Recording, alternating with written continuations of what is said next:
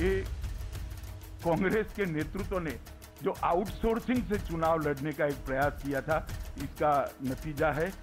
जिस ईवीएम के अंदर रिकाउंटिंग हुई है उसी के अंदर कई बार चेंज हुए हैं। मुझे ऐसा लगता है कि जो जीता वही सिकंदर। अभी तो कुछ नहीं बोलूँगा क्योंकि अभी हाल में ही वो अध्यक्ष बने हैं लेकिन सिर मुड़ाते ही ओले पड़े। गृह राज्य में उस उनकी मजबूती कम हुए ये साबित करती है कि देश में क्या हालात है। people of Gujarat trust BJP. The development they have given, and above all, the leadership of Narendra Modi ji. विकास की राजनीति जो है वो जातिवाद की राजनीति पर विजय हुई है tide turned against us, the tide will turn again for us. And I think the trend certainly suggests a much more positive direction. I was a chief minister. I was leading the party here. So i- it is my responsibility also. Under the leadership of the Gandhis, the Congress has been shriveling up in one state after the other and it's going to be a Congress Mukt Bharat very soon.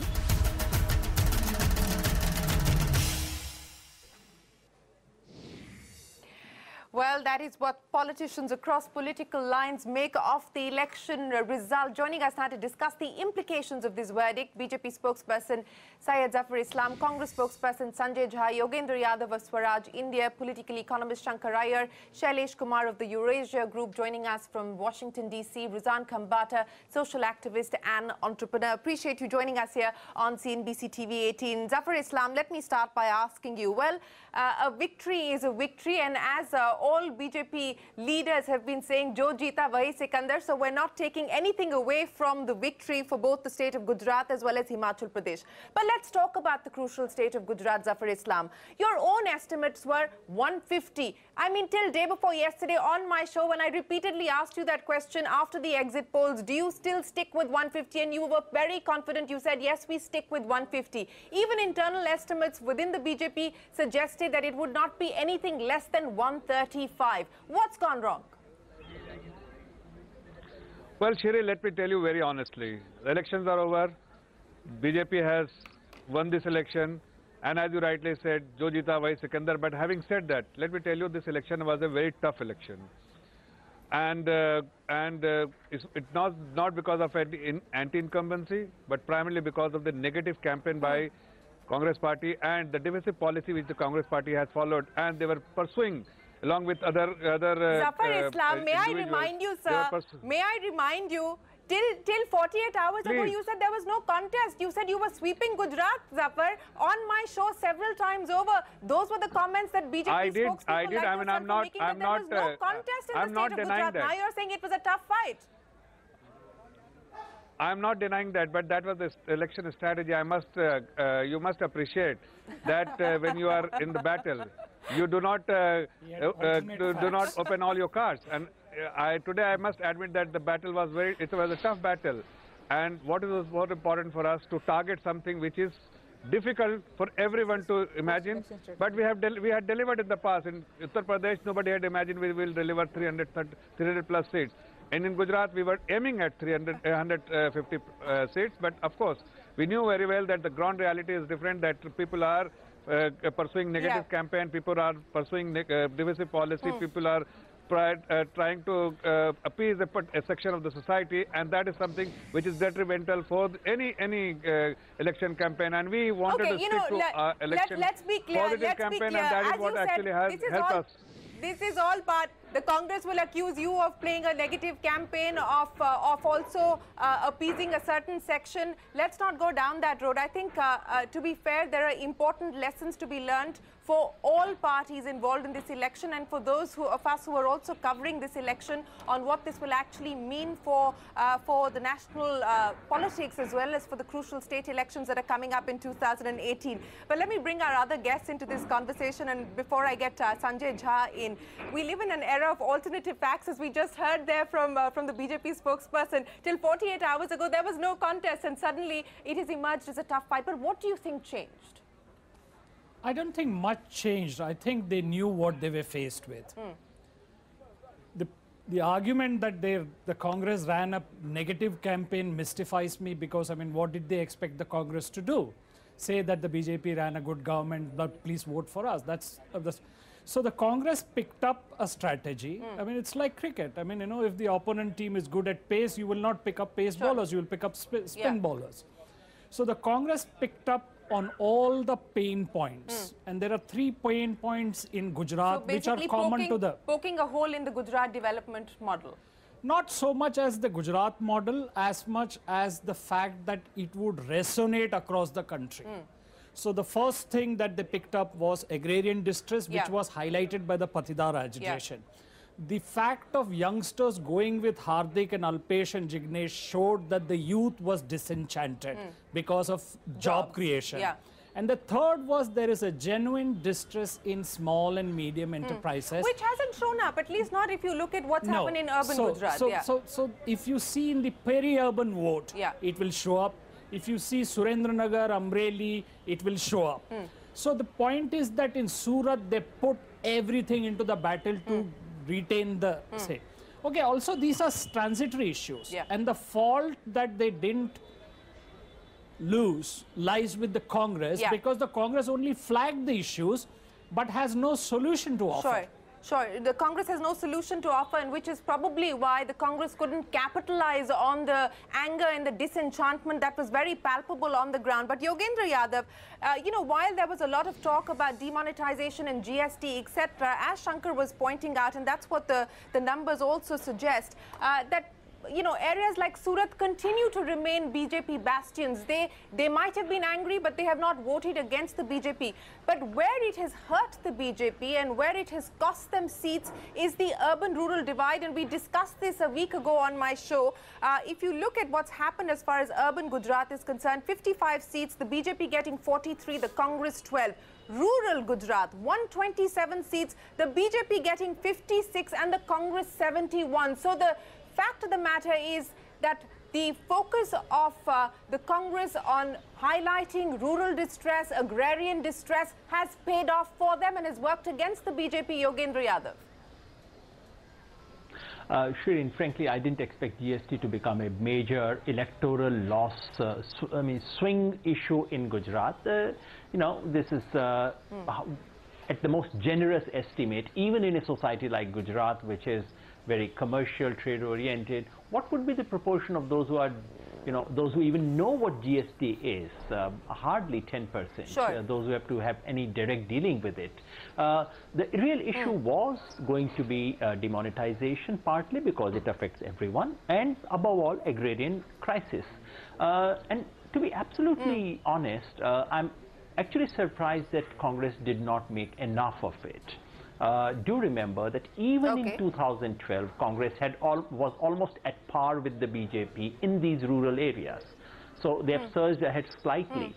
But given the opportunity, given the level of agrarian distress, Yeah. given the fact that both cotton and groundnut prices has crashed this year, given that uh, people were angry, was I mean, it, it is true. I agree with uh, the other panelist, uh, Shankar, who, who said that Congress focused on the right things. Yes, Congress focused on economy, which it should have. Uh, they did not allow themselves to be distracted. They focused on agrarian issues. Were they loud enough? Were they credible enough? Yeah. Uh, that's a question we should ask because what happened in Saurashtra, if half of that was repeated in north and central Gujarat, we would have been discussing something Yeah, altogether yeah. different.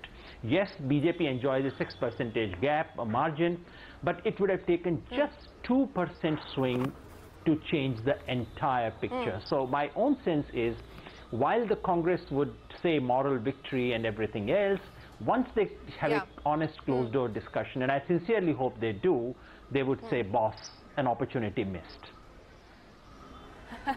Boss, an opportunity, Miss Sanjay Jha. Let me come to you with that. Uh, that and that I think is, uh, is is the overwhelming feeling here within the studio as well. Most panelists believe that yes, the Congress focused on the right issues, but did you do enough? Did you run uh, an effective enough campaign to capitalize on converting the anger into votes for the Congress party? Sanjay Jha, you were not loud enough, you were not credible enough, perhaps you didn't have the organizational cadre uh, on the ground backing you. Look at the sorry state of affairs as far as your own senior leaders in the state are concerned. Uh, and perhaps the biggest positive has been the fact that you've been able to get on board Hardik Patel, Alpesh Thakor, and Jignesh Mevani, who've done a good job for you.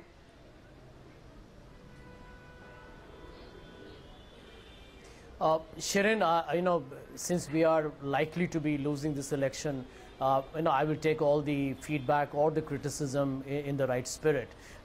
You know, I think on the positive side, we fought a, truly a disciplined campaign.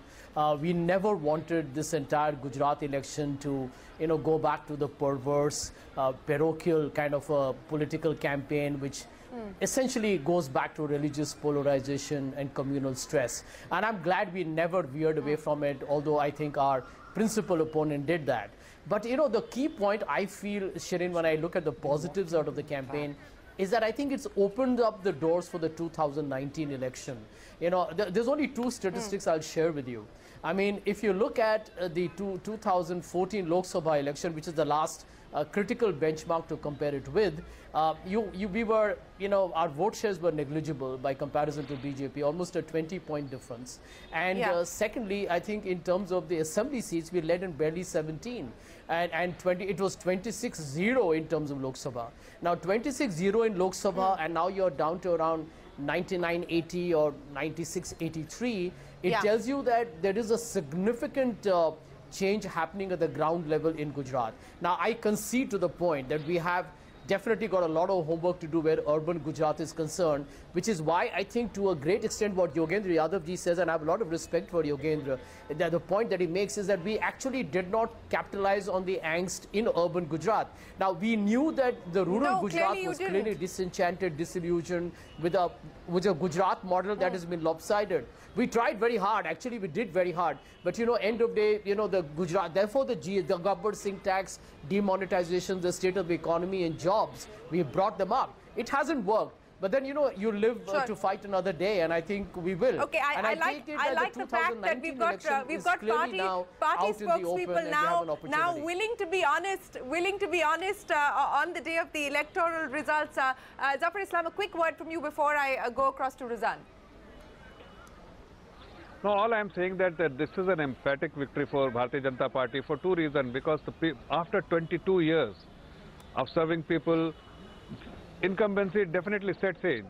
But there was no incumbency as, as such, as, I- as I said earlier. And that's why people have reposed faith in Bharatiya Janata Party and they have discarded the negative politics which they have pursued. Secondly, what I, I would like to tell Can you I that say uh, one thing? e- even the re- issues Yeah, yes. Even the issues they were raising uh, uh, uh, in terms of development, actually the development what has taken place in Gujarat is something people have bought this argument because they have experienced the good thing whatever has happened in Gujarat. But whatever they, they, uh, go- uh, the uh, Congress was trying to expose to us Okay, okay. something You, which you're they making, you're actually making your pre-poll argument again. Zafar Islam, you're making your pre-poll argument Today, again. Yogendra, no, no, no, I'm, I'm not making. All I'm and then I trying to to respond to Sanjay Jha. All I'm trying to respond to Sanjay Sure. But today, I- today we have being- won the election. being I just wanted- I have to say. behind Yes, us, and, and no, no, I, and he was no, no. I just wanted to make a one-liner, which is simply this: that while the uh, uh, while, while the BJP would say all this for external consumption, I hope when they have internal review, and I hope they would be honest when they do it, Yeah. they would say, boss, this was scary. We almost lost it. And we need to do something on the rural front. We were lucky we had a Narendra Modi in Gujarat to do it. We may not, he may not Yeah. have that kind of magic in Karnataka, in Madhya Pradesh, and so on. That's a lesson for BJP, hmm. I think, I hmm. hope. Hmm. Okay, and that's the point that I want to take to you, Ruzan. And you know, I think uh, uh, I've been reading Prashant Jha from uh, the Hindustan Times through the course of this campaign, and he, summed it up really nicely. Is this a trust vote or a mercy vote for the BJP on account of Narendra Modi? I mean, it's absolutely clear that it is the Prime Minister that has won the BJP this election in Gujarat. Uh, trust vote, mercy vote. See, too, I mean, uh, let me first explain to you the whole thing, that how did they came to the target of 150? The logic which went behind it that when last time Mr. Modi uh, fought in 2012, there were 115 seats which they won when Modi was there. So this time they believed that with Mr. Modi at the center and BJP at the state level, obviously they added these plus seats uh, in the name of Mr. Modi. But they did not realize that the local Gujarat cadre had become very weak and in fact the whatever development model they are talking of but in the last two to three years, actually practically everything was at a standstill. Now, when these elections came up, obviously five months back, uh, there was a lot of uh, uh, issues with the with the BJP government in terms of the local government Yeah. I'm talking of, and that is why people were slowly, slowly shifting towards Congress. And yes, Congress did get that uh, strategy right initially with Vikas Gandoche and you know no development and talking about farmers and Patidar issues, Dalit Yeah. issues, OBC Yeah. issues. But then it happens as that yes, Gujarat, if it was just for the Gujarat BJP, they would have 100% lost. But because when Mr. Modi, Modi came, into came the picture, now hold a second. One more important thing: that people looking, uh, every every every uh, spokesperson of BJP is harping on the fact that uh, the, this is the sixth win, and that's the biggest Yeah. win, blah blah things like that, and they could counter the anti anti incumbency. But I would rather like to say that for people of Gujarat, mm. the very first thing was that for, for, them it might be the sixth term. For us, it was the first term. The reason being that after Mr. Modi, Modi went to, yeah. as a PM, we are looking from 2014 onward. So the Gujarati people thought it is their duty to mm. see to it that in Gujarat also there is a BJP government because the BJP at both the places, like Mr. Modi himself said, yeah. dono hath mein laddu, yeah. aapka center mein bhi laddu, Gujarat mein bhi laddu. Yeah. So he wanted people to understand that and that is the only reason BJP could govern garner this 99 to 100 or 102 seats otherwise I mean that would otherwise the BJP Modi, the, have been at a great the, the Modi factor, the Modi factor has clearly played the most crucial part as far as this election is concerned. But